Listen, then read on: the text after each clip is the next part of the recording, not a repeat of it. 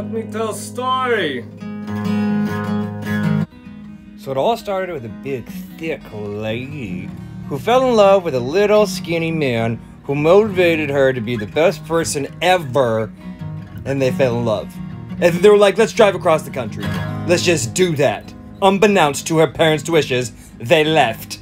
In the rain, with their bird, onward and outward to their next place, which of course was. Do you love Houston? This is sick. This is Houston, right? Yeah. It is Houston. And Houston was amazing, and their gas stations were spectacular, as you can see. They reminded me of the wild, the Wild West. So we went further to what only one could describe as. Bubble bath in Alabama. Where we at? Bama Bath. Of course, Obama Bath. As we smuggled Larry from hotel to hotel, we ended Ah, up we in a it to a waffle, Waffle house, House. where we found that we loved one It's our thing. first Waffle House. It's gonna be fantastic. I'm sure of it, as everything has been. What? Yes. Hey, South is killing it. South, South's friendly. It's different.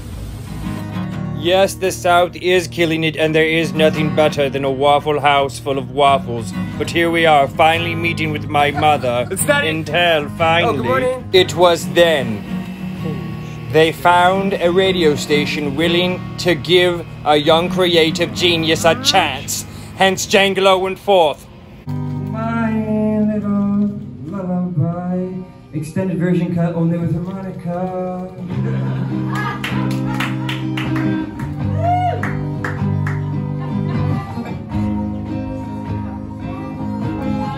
and sang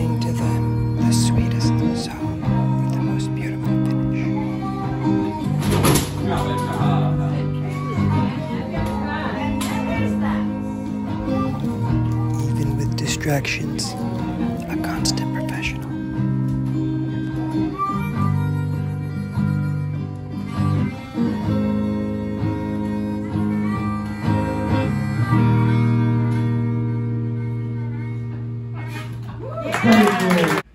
After the performance, an argument ensued. I'm sorry. Back! Back! Piatch!